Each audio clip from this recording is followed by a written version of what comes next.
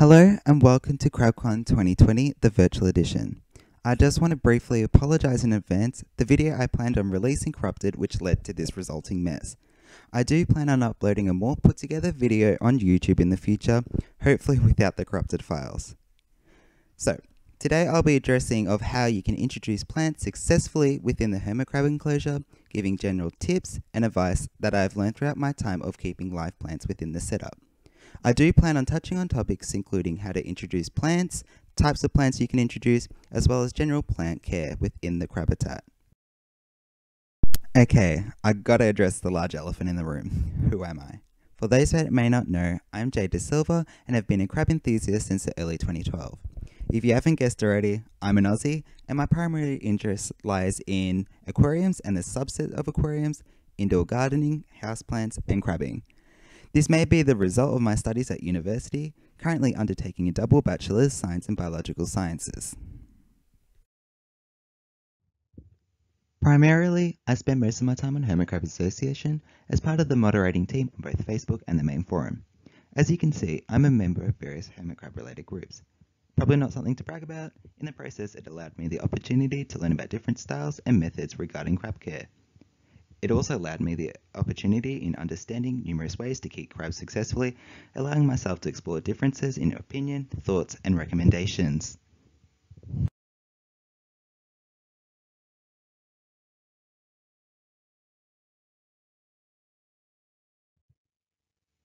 Before we proceed, I like to look at the positives and negatives to determine if plants are right for myself or you. It is important to look at the negatives as well as the positives so that way you can give yourself an informed decision. In my opinion, yes, plants are worth it, but I might be a bit biased. Let's start with the positives. What I find to be the most important is that it offers numerous hiding and climbing places. Not only that, but it's visualing for us as well as the crabs. Plants also remove toxic compounds through nutrient export. Toxic compounds naturally will build up within the enclosure as it's a sealed ecosystem. The plants also help remove excess water and then release it as water vapor through respiration or photosynthesis.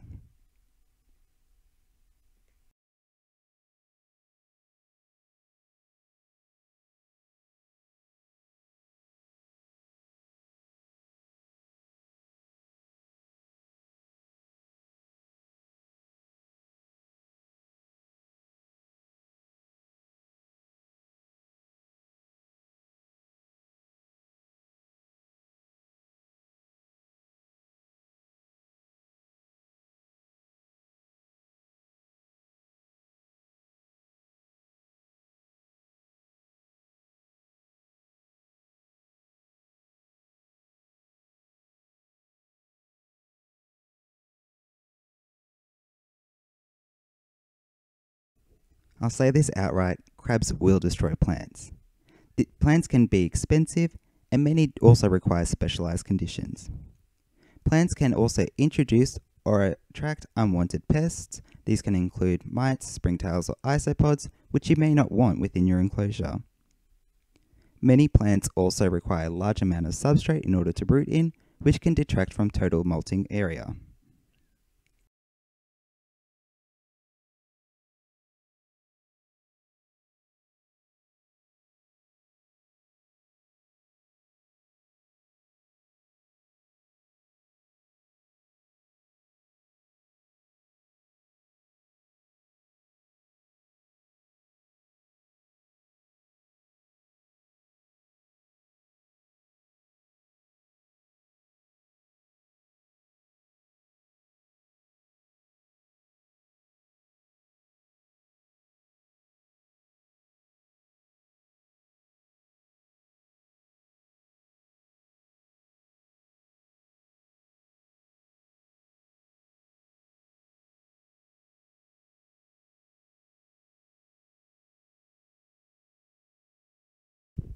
Okay, so I'm going to talk about terrariums and vivariums, as I found it was helpful when I was doing my own research.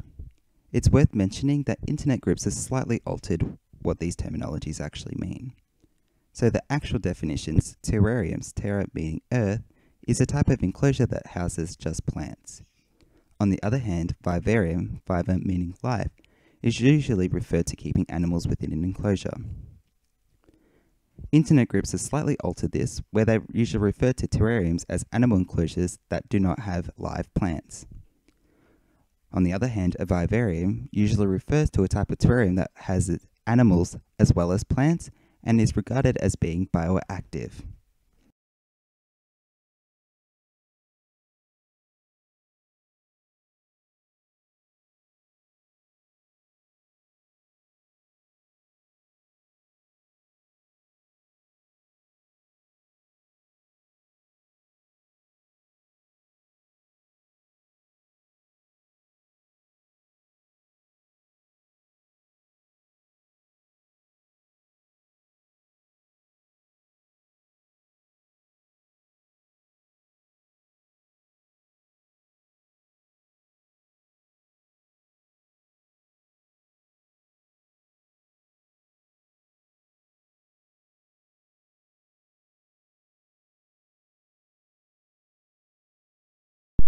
It is worth mentioning that there are different types of ariums out there. For example, a paludarium.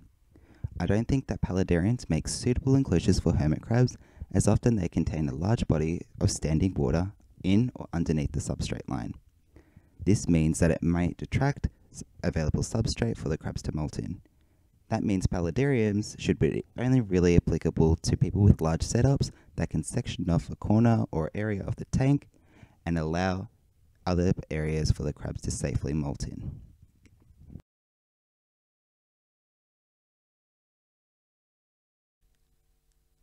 Another popular type of arium is the aquarium.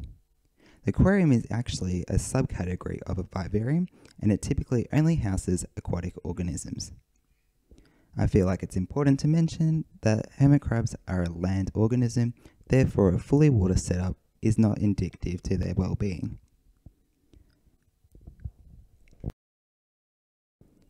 So we've looked at aquariums, paludariums, vivariums, the lot, and in the process we've looked at the differences and which ones are actually applicable to our crabs.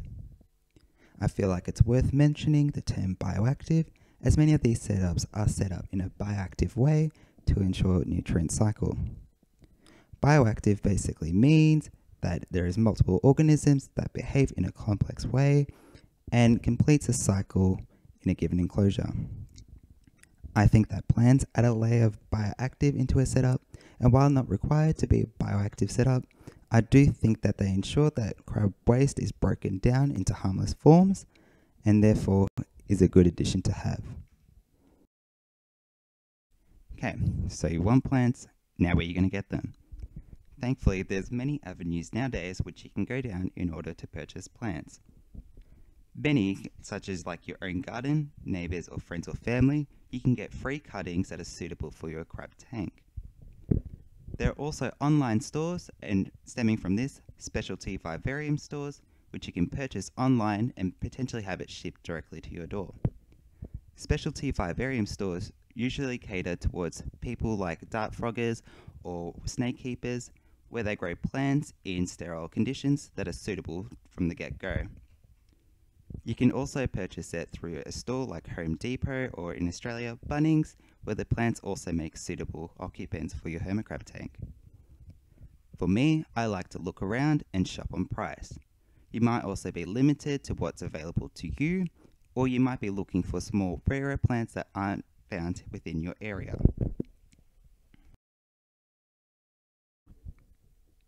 It goes without saying that plants also carry hitchhikers, which most people term them as pests.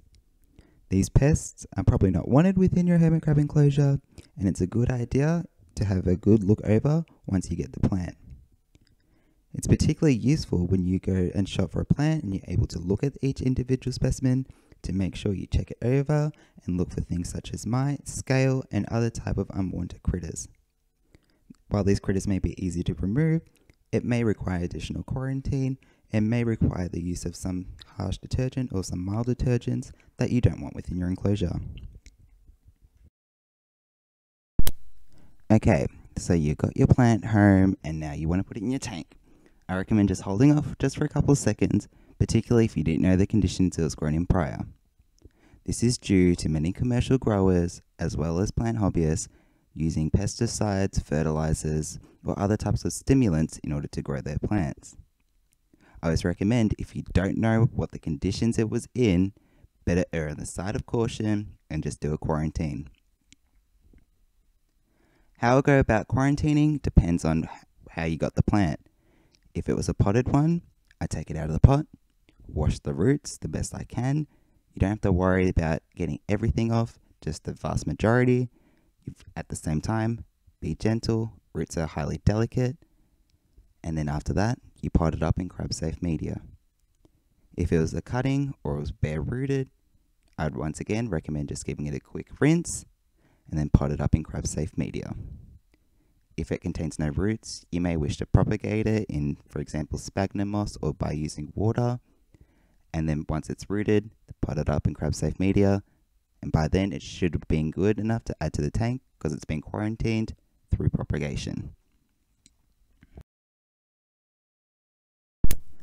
I recommend for smaller plants, so for example, they're less than a foot tall or they have a very thin stem and it's not woody, I recommend waiting about two to four weeks before introducing it to the hermit crab tank. The propagation can also be considered those two to four weeks. And if it's a bigger plant or it has a really thick woody stem, I recommend holding off, waiting slightly longer, do four to eight weeks, even more, before adding it to the tank. I do think that more you wait, the less toxins or potential contaminants you might introduce into your enclosure. I'm just going to give a brief rundown of propagation and how to do so. There is more in-depth and developed information out there on the web that I would recommend checking out so you can get a good idea of what is occurring slash what happens. First is water propagation, which you use water and after a while the plant begins to grow roots. Once that occurs, you can either pot it up and then it's free to go. You can also do sphagnum or perlite, which you moisten the sphagnum or you give moist perlite, leave it to grow in that. Once it develops roots, take it out, pot it up, and you're good to go. This is by no means an exhaustive list, just some examples of how to do so. Okay, so I talked a bit about previously of using rooting hormone as a way to grow plants. Rooting hormone is used as it allows roots to develop so it becomes a fully functioning plant. In a lot of cases, the active ingredient is indole acid, or IBA for short, and this is used as it leads to the preparation of auxins and cytokines.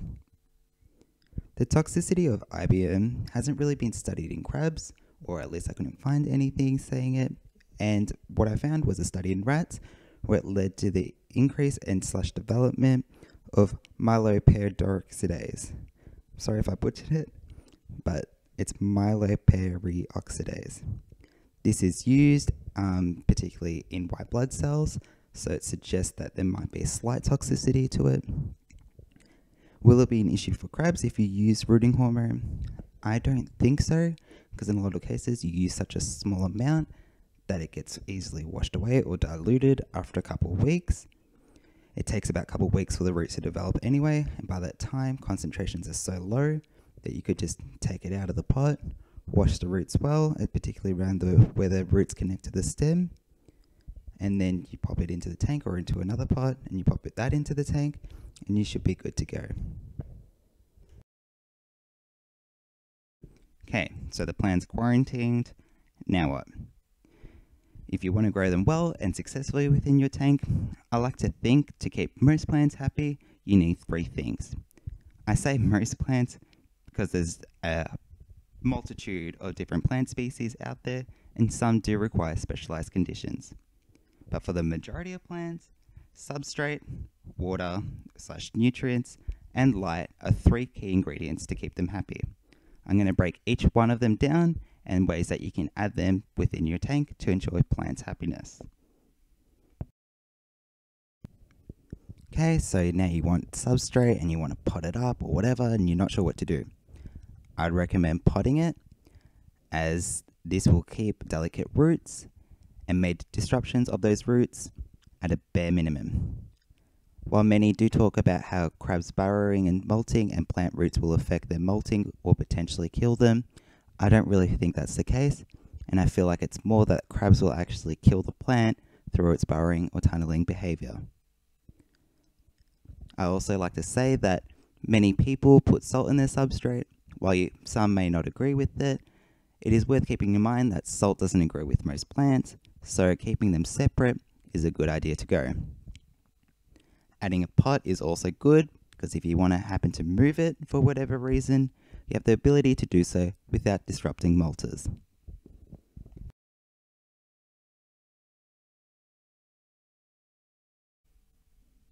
For most plants, you want a substrate. Substrate is used in plants as it allows them to take up nutrients from the surrounding soil. This is why I recommend avoiding potting soils and garden soils as these often contain unwanted pests that you don't want within your enclosure and many also contain additives such as contaminants and unknown toxins. What do I mean by that? Is that it's unknown if it's crab safe. Therefore, I recommend EE, coconut fiber, coconut chips, sphagnum moss, sand, gravel, worm castings, charcoal, perlite, water, or a combination, or none of the above. EE or coconut fiber tends to mimic soil very well and is useful in order to retain water. I also find that EE is a great source to use as generally it also releases water vapor as well, so useful to boost humidity. While coconut chunks may seem counterintuitive as you don't want to use it as a molting medium, I do think it also adds aeration towards the medium and it keeps plants happy. Plants need oxygen at the roots, and a well draining soil or oxygenated soil will keep most plants happy. Worm castings is a good nutritious medium that plants love as it contains a lot of waste and it's also crab safe. Crabs will, however, enjoy eating it. Sphagnum moss, while not as good as a standalone, as I find it dries out too readily, can be mixed with other mediums to form a good water retainer similar to EE. I also find that sphagnum moss is great for epiphytic plants as you can tie it around the roots in order to retain moisture. Sand, gravel, perlite, while not used as a sole medium, once again mixed in, is a great tool in order to have free draining water.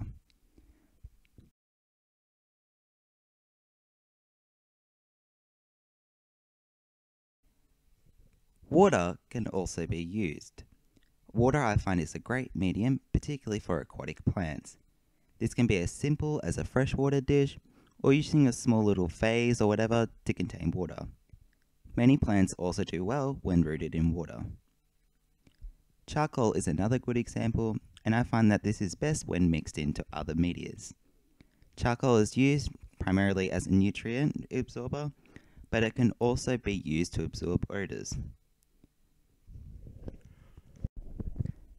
Epiphyte plants, or epiphytic plants, is plants that don't need soil in order to thrive.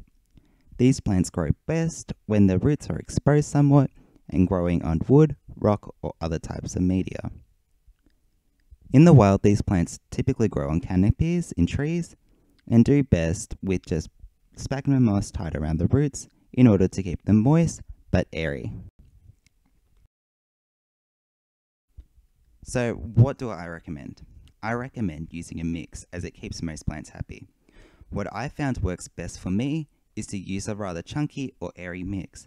So I tend to use around about 50% coconut chunks, 25% EE, and then the remainder of sphagnum, perlite, gravel, you name it, chuck it in there, and it seems to do most plants well. It doesn't have to be expensive, and don't feel like you have to use this mix exactly.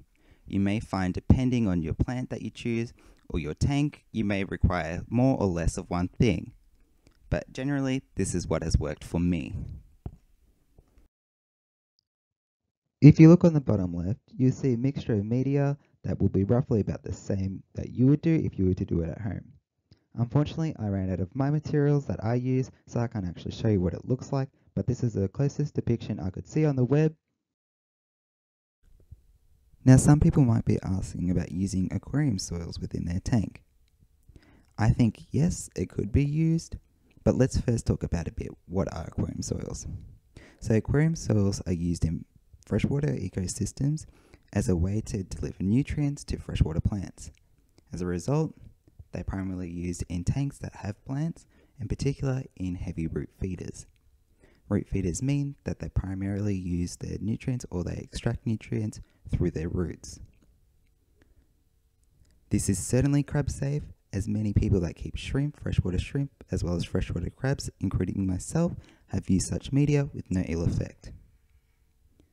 Many aqua soils also have additional properties as they great at absorbing nutrients and then slowly releasing them, almost behaving similar to a slow release fertilizer. I do suggest avoid using it as just your pure media, however, as it is very lightweight and plants will likely topple over as their crabs move around. A bag is also pretty pricey, which for me in Australia, a 9 kilo bag is roughly $45. However, I do think it could be mixed within other substrates as a way of adding nutrients into a substrate. The best addition, I think, would be in what it's actually used for. So, in an aquarium, so if you've got a large freshwater pool and using the nutrient rich substrate within that pool, particularly if you're growing freshwater plants. If you're not growing plants, I'd recommend avoiding it as you're just going to be adding nutrients to the water, which likely will lead to algae blooms.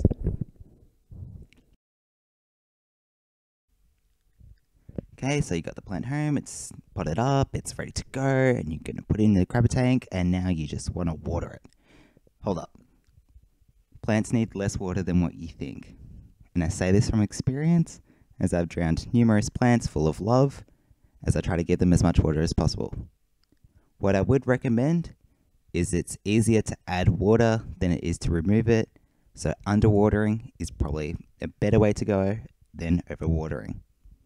The plant will usually tell you if it's receiving too little or too much water, and it can be signs such as droopy leaves, if it's underwatered or a whittled stem, and if it's overwatered, it usually begins to droop as well, so it can be easily confused, but also it leaves tend to drop off.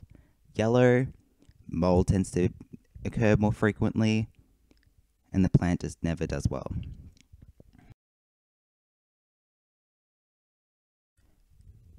you may find when it comes to watering, it will be a bit of an experiment.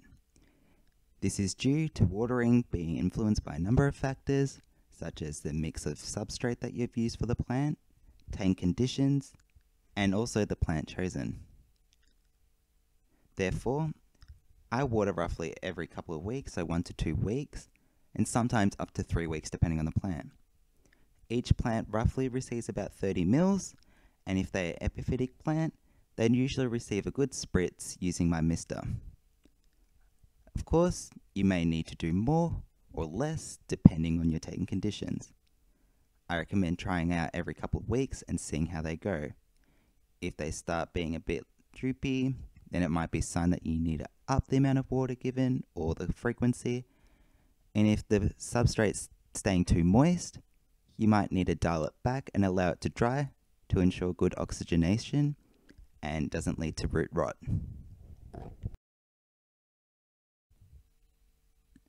I recommend using tap water or discarded water from your freshwater pool and also, if you got it, an aquarium. This is because these contain high levels of nutrients which the plants will love, and that is why I don't recommend using distilled or spring water as these are typically nutrient devoid and can lead to deficiencies in your plant. I've also been experimenting using chlorinated water to see if there's been any effect on nutrient uptake. I can safely say that it was crab safe, no crabs were harmed, and generally the plants did just as well using chlorinated or dechlorinated water. What I can say from this is that if you happen to forget dechlorination, it won't kill your crabs because it's in such low amounts, and generally the plants do just fine. The addition of nutrients ultimately depends on the type of media used, water source, and the species of plant chosen. The plants will typically need more nutrients the faster they're growing. Nutrients is broken down into macro and micro, and macro usually refers to needing higher quantities than micro. Examples of macro include carbon, oxygen, nitrogen, phosphorus, and potassium. Carbon and oxygen is naturally present in the air, while nitrogen, phosphorus, and potassium can normally be through animal or crab waste. Micronutrients are usually present in tap water and in trace amounts, so you rarely, if ever, need to use it. If you need to add nutrients for whatever reason, I recommend using either aquarium safe fertilizers or worm castings. If you happen to use aquarium safe fertilizers like what I've been doing, I recommend getting the recommended dose and then diluting that in 20 parts water to one part of that nutrient mix. And then it should be fine and it should be crab safe as it is commonly used in aquatic crabs and shrimp. To put it simply, plants need light. This is in order to photosynthesize. The type of light used will ultimately depend on the plants you want, but generally LEDs, fluorescent lights such as T5s, or even natural sunlight will be your best options. If you want additional lighting that sunlight cannot provide, I recommend LEDs or fluorescent lighting. Metal halides could be used in a large enclosure, like for example, if they're about like 4 to 6 feet tall, and this is simply due to it being an intense wattage and it has a high heat output. When it comes to lights, if you can, look at a PAR rating. This is called the photosynthetic active region. A high PAR is good for plants as it allows their chlorophyll to work properly and efficiently. This also brings out coloration, size, or shape in a plant as well. If it doesn't have PAR, don't stress, usually wattage or lumen can correlate to a high PAR rating.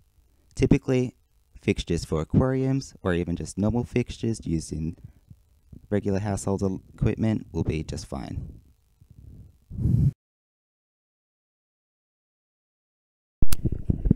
Nowadays, with technology, there are a lot of new lights on the market. Some have added or extra features that many enjoy using. For example, some lights now contain the ability to ramp up and down gradually, so in turn, it kind of simulates how a day night cycle and as it goes to dusk to dawn. Many lights also, in the process of having that ability, are Wi Fi or Bluetooth controlled, so that means you can remotely control it and you don't even have to be in the same room. These controllers also have the ability so you can change the color spectrum of the lighting or the intensity or brightness, and some also have interesting features as they can simulate storms, cloudy days, or even have a night mode. I personally find that night modes on most lights are too light as the blues are normally too rich in coloration. However, if you've got like a purple light or something, it might be better using and it will be softer on the eyes. But I do think that night lighting is just best if you're just using it to view the crabs, but not every day. Storm settings as well could be run, for example, if you got a storm in your area and see if how the crabs respond, because in the wild, they'd be exposed to a lot of storm conditions. I would like to hear more about these features, particularly if you've got them, and see how your crabs perform, as there is studies on fish and reptiles, and having these features leads to breeding and whatnot, but not much is understood about crabs, and I would love to learn about how crabs respond to such features. So lately, there's also been a lot of discussion and a lot of people wanting to trial out UVB. Now, the long story short, if you have UVB or you want UVB and you also want plants or you have plants, you may require two separate lighting units or two different fixtures. This is due to UVB not being readily utilized by plants, and typically these lights, the UVB lights, only emit a small spectrum and don't emit enough to make plants happy, or they don't emit the wavelengths that the plants need in order to photosynthesize.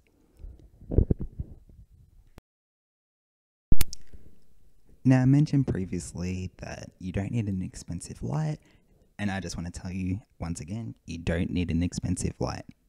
The light that I'm using on my setup is just a cheap one that I got off eBay, and it's a three foot LED fixture. It's no name brand, it's nothing fancy, and it gets the job done. It grows plants just fine. I prefer using LEDs as I find that they don't need to be replaced as, like, as regularly as fluorescent light bulbs, and they tend to have a longer lasting lifespan, lower heat as well, and generally they're pretty energy efficient. The light that I've got contains different types of LED di- diodes, so it's got white, red, green, blue, and purple. And overall, this color spectrum gives a nice pleasant coloration, which I believe is around about 8000 Kelvin.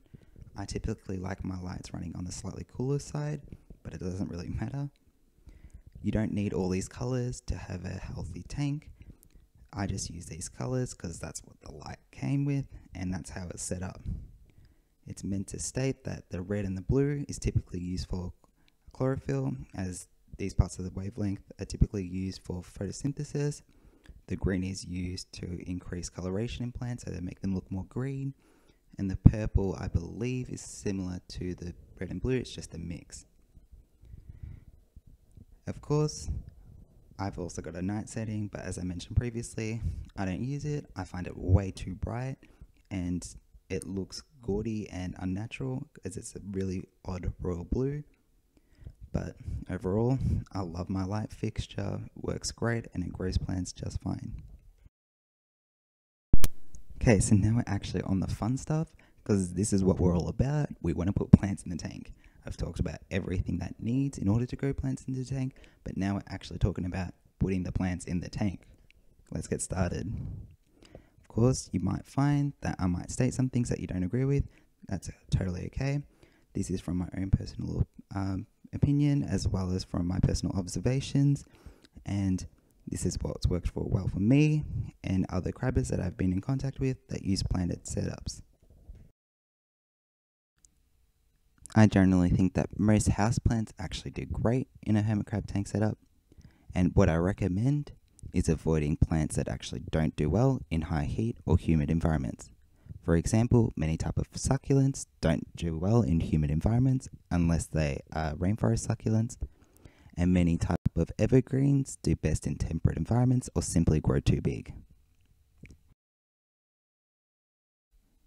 Some species of plants that I have had great success in using is bromeliads, particularly from the Tillandsias and the Neoregelia species, mosses, pothos, Epipremnum aureum, many species of mangroves, which are salt tolerant, philodendron species, tropical succulents, including Rhipsalis, aquarium plants, and the prayer plant.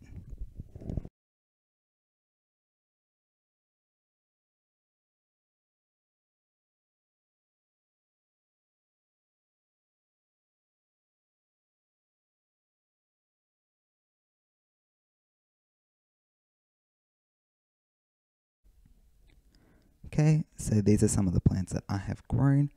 It's not an exhaustive list, as I think I might have missed a couple that I can't remember, but these are the ones that I do remember using. So I've briefly talked a bit about pothos. I love it, it grows great. The only time it's died is because I forget to water it, and then it doesn't like being dry, so it dies. Bromeliads I've also find do pretty well. Some Tillandsias don't really, but I think it was just the species slash variety I chose. It wasn't suitable as some do like dry conditions. Um, a couple of bromelia growers do say that if it has like a dusty or a silvery coating on a tillandsia, it's best to avoid it as they typically like to be drier. I've tried using some philodendron with mixed success. Most of the times they grow okay and then they kind of just die off. I've also had great success with Rhipsalis cactuses and other types of tropical cactuses, and they do great. Another good example are green plants. Um, too many offcuts such as Anubias, Rotala, Ludwigia. I've used all these types well within my tank as well as floating plants such as duckweed or floating frogbit. They do pretty well until the crabs decide that they want to eat it. Whatever, they can eat it. I've also tried of using orchids and they do do okay but I think that they don't appreciate the constant saturation sometimes. They really like to dry out, and if they dry out, sometimes they can dry out too much. So I've still got to try and find that balance between letting them dry out without letting them dry out completely.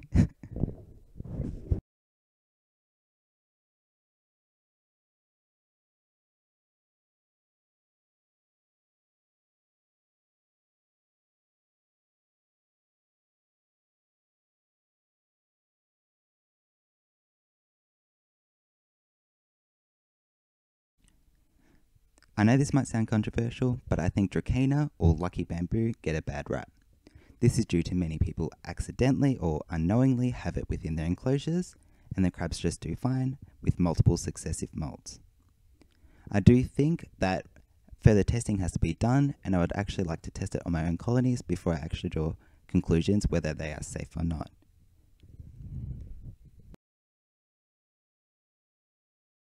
Generally, the toxins that I have found to be the most common are found in houseplants. This is due to it being more likely to be added in your hermit tank, as many make suitable candidates. Good examples include saponins, phenols, calcium oxalate, which are also referred to as raphides, cyanogenic glucosides, and other types of glucosides. This is by no means an exhaustive list, just some common examples. Saponins are glycosides and are found in a large number of plants. There has been a diverse amount of them, and they are both good and bad for the biological system. They can affect growth, food, and reproduction within animals. It is difficult to say whether which type is actually safe and which isn't, as it is a very broad group of compound.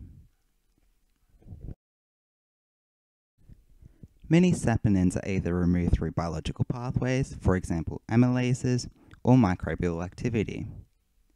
Therefore, it's difficult to determine how it is actually removed, but many animals are able to easily remove it from their bodies. Glycosides are another type of complex that many plants use as a defensin. I briefly mentioned one particular type of glycoside, saponins, and there's also numerous other different species that make up this glycoside family or unit. Many drugs or poisons are derived from plants that contain glycosides, and many medicinal drugs is contained or has an active ingredient that has a glycosidic compound.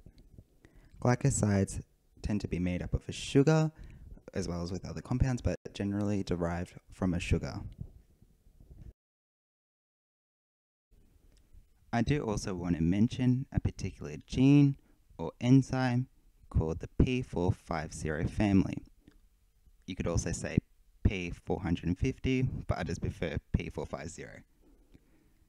This is useful as it leads to animal resistance and tolerant to many plant toxins by breaking them down.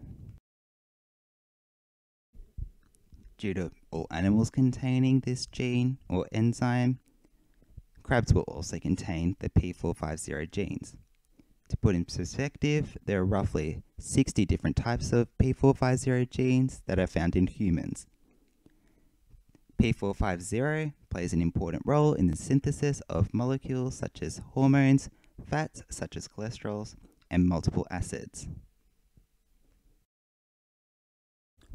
A great example of this is calcium oxalates or raphides. This chemical is bitter tasting and is used as a deterrent for most animals. This chemical also has a great affinity to calcium, which is potentially damaging if eaten in large amounts for reptiles and mammals. This is due to calcium being within the bloodstream as it's used for muscle development as well as to ensure proper regulations in biological pathways. And so the removal of calcium leads to insufficient or deficient calcium. The way that the body combats this is by using calcium stored up within the bones and can lead to weak bones. In crabs, however, it is not known whether oxalates actually lead to any detrimental effect, and my theory is that while it might, it shouldn't be much of an issue. You need a large quantity for it to ever become an issue, as calcium is also used in the diet and will replenish lost calcium taken away by oxalates. For example, spinach is on the safe list of many groups, and spinach often contains high levels of oxalates. That is why, if you have kidney stones, it's best to avoid spinach due to its oxalates, as it greatly increases calcium affinity and kidney stones from developing. However, when crabs are given spinach, they do not die, and they do just fine. That is why I don't think that oxalates is much of an issue, and generally is crab safe.